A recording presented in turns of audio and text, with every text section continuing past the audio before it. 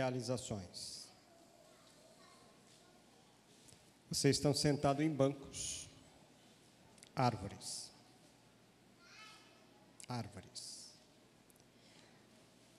Mas quando Jesus se referiu a nós, ele não se referiu a cedro, nem a angelim, nem ao, a pau d'arco. Jesus disse que nós somos como os galhos da videira. E quando estamos ligados nele, ele diz que damos frutos abundantes, permanentes. Mas se não estamos ligados nele, só servimos para o fogo. Já pensou nisso? Já pensou que Jesus não nos comparou com o cedro, apesar de o cedro ser uma das árvores mais significativas dentro da visão bíblica? Já pensou que ele nos comparou a, a galhos de videira? Uva. É exatamente por isso, porque cedro, mesmo depois de cortado, serve para muita coisa: barco, cruz, banco, mesa, porta, cadeira, serve para muita coisa.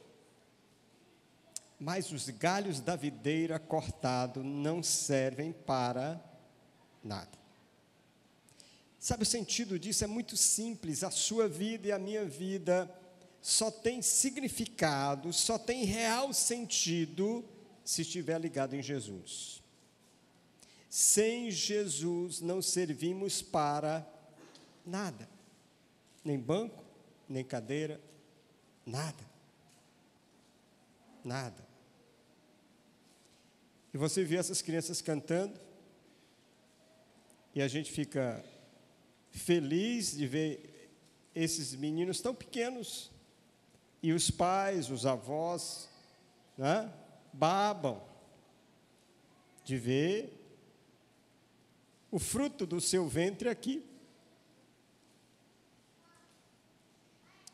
Mas você não pode sair daqui só alegre de ver essas crianças cantando. Você não pode sair daqui só pensando na música, você precisa pensar na sua vida. Você precisa pensar em você. Sabe por quê? Porque vai chegar uma hora que o lenhador vai cortar a árvore. Vai chegar uma hora que o lenhador vai cortar a árvore que é você. Não adianta você resmungar, chorar, pular. Não adianta você dizer que tem uma agenda muito cheia. Não adianta você dizer que tem muitos filhos doentes e que precisa cuidar deles. Não adianta você dizer que está aguardando uma promoção e ela não saiu ainda. Não adianta você dizer que tem dívidas para pagar e ainda não conseguiu saldá-las. Não vai adiantar você dizer absolutamente nada. Quando o machado chegar, você vai. Ah, pastor, eu só estou sendo muito franco com você, só isso. Sabe, Deus fala com você tantas vezes, você já veio aqui tantas vezes, a maioria de vocês já veio aqui muito mais de uma vez ver essas crianças cantando, a maioria de vocês já vê essa igreja muitas vezes, e Deus toca no seu coração, Aí você até pensa assim: eu vou hoje dar minha vida para Jesus, eu vou mudar o rumo da minha vida. Mas aí você diz: não, agora não, só mais tarde, ainda não, ainda não estou pronto. Você está se aprontando, não sei para quando. Porque já foi uma vez, duas vezes, três vezes, quatro vezes, alguns de vocês mais de dez vezes. E você ainda não se aprontou. Eu não sei que tanta prontidão é essa que você está fazendo. A verdade é que você está deixando para depois algo que você não sabe quando vai acontecer. Quando o machado chegar, não dá para dizer, vou me aprontar. Quando ele bater na raiz, você vai cair. E aí? E aí? Vai ser o quê? Vai ser barco, vai ser cruz, vai ser banco ou vai ser só palha para o fogo? Para que serve a sua vida nesse mundo? Qual é o sentido da sua vida nesse mundo? Quando Deus me botou aqui, botou você aqui, Ele tinha um propósito: que todos nós vivêssemos e vivamos para a Sua glória. Porque Ele sabe que sem Ele nós não valemos nada. Ele sabe que sem Ele nós não teremos sentido para viver. Ele sabe que sem Ele a gente vai ficar buscando e buscando e buscando e buscando e não vai achar. Porque o único sentido da minha vida e da sua está na mão dEle, é estar sob os cuidados dEle, fora disso não tem sentido. Então o Senhor Jesus está te dando mais uma chance hoje à noite. Mais uma. Mais uma. E quando você botar o pé fora daquela porta, você não vai dizer que esse pastor e essa igreja não lhe deram a chance. Mais uma. Mais uma. O que, que você vai fazer? O que você vai fazer? Jesus está sempre chamando você Vinde a mim todos vós.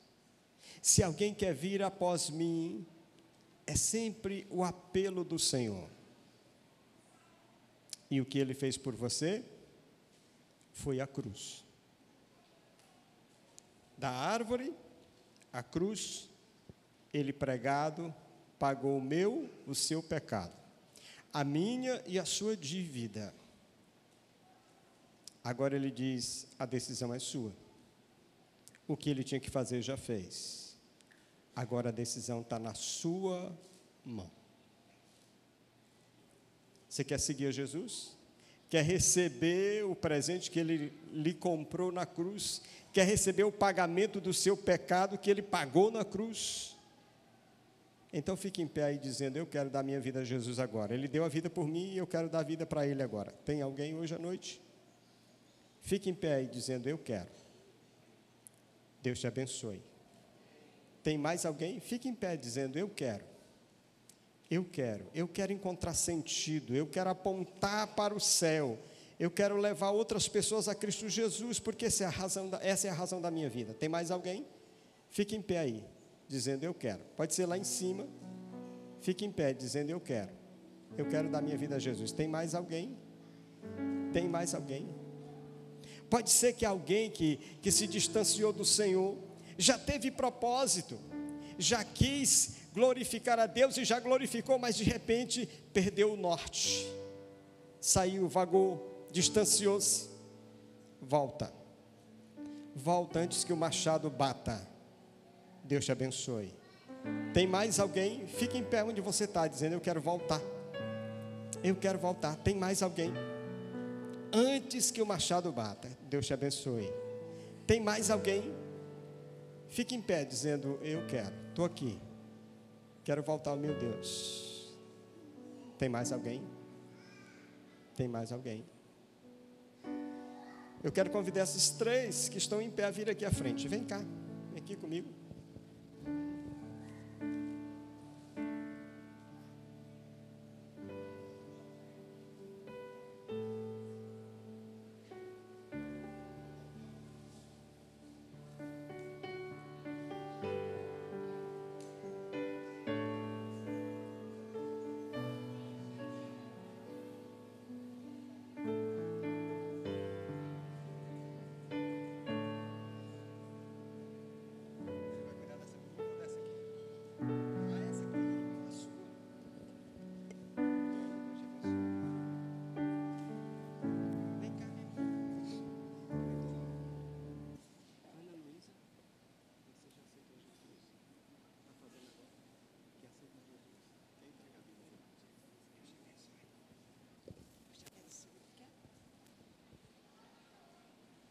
Tem mais alguém?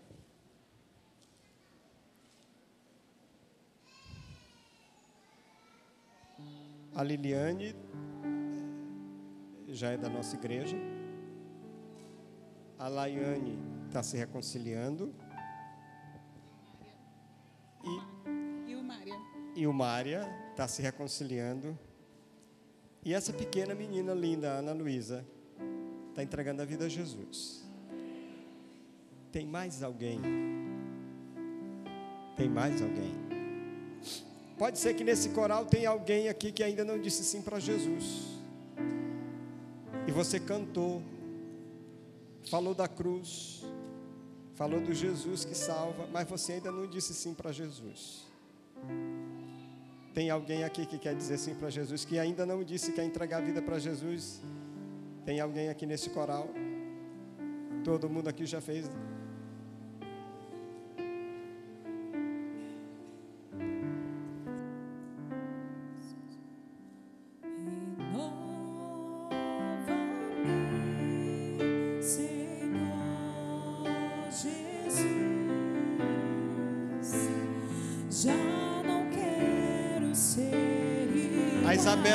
Jesus. Olha o tamanho da Isabela.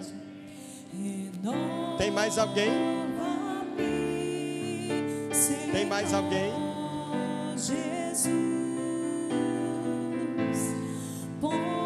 Enquanto a gente canta, sai do seu lugar, vem aqui à frente. Tem mais alguém?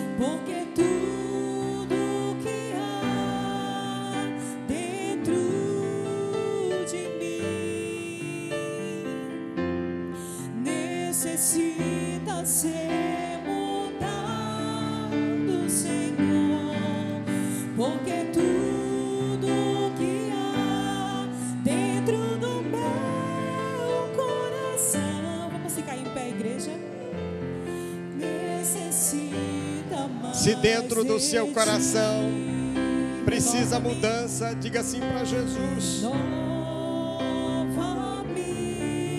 Senhor Jesus.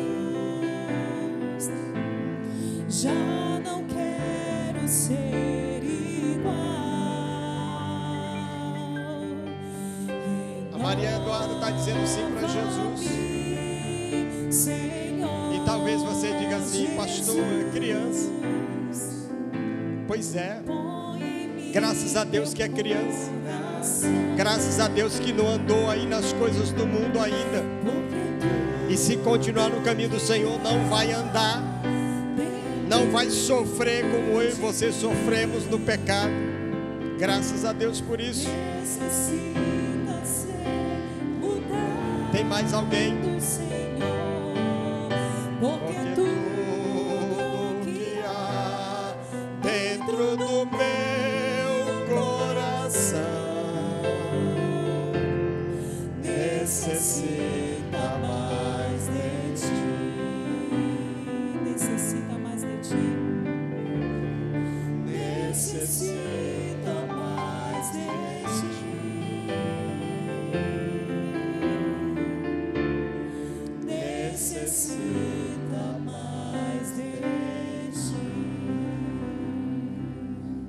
Orar, irmãos. Obrigado, Pai, por essa noite. Obrigado por essas vidas tão pequenas que proclamam a tua verdade, o teu evangelho. Obrigado pelos pais, avós, tios que apoiam essas crianças no estudo da tua palavra. Deus, obrigado por essas vidas que vieram aqui se reconciliando, voltando para o Senhor. Outras dizendo sim para Jesus pela primeira vez. Recebe, Pai, cada um na tua mão, embaixo da tua graça.